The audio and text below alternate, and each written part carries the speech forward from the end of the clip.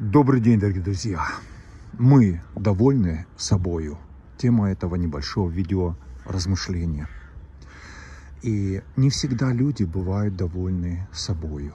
Иногда они слышат о себе нелестные высказывания. Они могут быть как справедливыми, так и несправедливыми. Иногда люди слышат похвалу. И как они реагируют на эту похвалу? Кроме самого человека и отношения его к себе, есть отношение к человеку других людей, но есть отношение к человеку и самого Бога. И сегодня, размышляя на эту тему, хотел бы обратиться к Евангелию от Луки, 18 глава, с 9 стиха, и сказано там следующее. Это говорит Иисус Христос. Сказал также к некоторым, которые уверены были о себе, что они праведны и уничижали других. Следующим, э, следующую притчу. А, два человека вошли в храм помолиться. Один фарисей, а другой мытарь. Мытарь – это сборщик налогов. Фарисей, встав, молился сам себе так. Боже, благодарю Тебя, что я не таков, как прочие люди, грабители, обидчики, прелюбодеи, или как этот мытарь.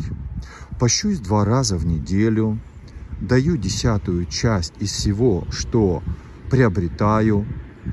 Мытарь же, встав вдали, не смел даже поднять глаза на небо, но, ударяя себя, в грудь говорил, «Боже, будь милостив ко мне, грешнику.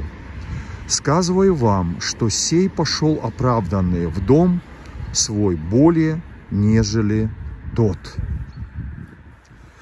Размышляя о деталях этой притчи, хотел бы подметить следующие моменты. Оба человека вошли в храм, хотя могли бы молиться и дома у себя или где-то на природе.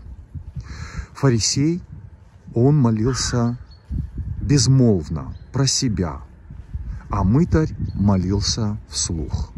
Важно, чтобы молитва была услышана духовным миром как врага, так и Бога, чтобы э, духовный мир, это ангелы, бесы, слышали, кому обращается человек.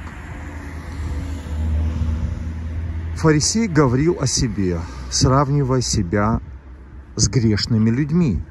А мытарь стоял сзади, он не размышлял о других людях. Он стучал себя в грудь и признавал себя грешным. И Бог в лице этого мытаря говорит, что вот он будет больше прощен мною, чем тот, который возомнил о себе как о хорошем человеке. И поэтому мы иногда заблуждаемся. Делая добрые дела, мы думаем, что мы кому-то помогли или что-то сделали а, для природы, для животных, для людей. Но на самом деле мы прежде всего заботимся о себе, чтобы мы не очерствели, чтобы мы не стали хуже, чем мы есть сегодня на самом деле. Но у каждого человека есть, конечно же, негативные стороны, с которыми необходимо вести войну, борьбу, и на которые Бог нам указывает через нашу совесть. Замечаем ли мы это? Можем ли мы после похвалы людей сказать, Господи, Ты их не слушай. Ты лучше меня знаешь, чем эти люди. Я гораздо хуже. Прости меня.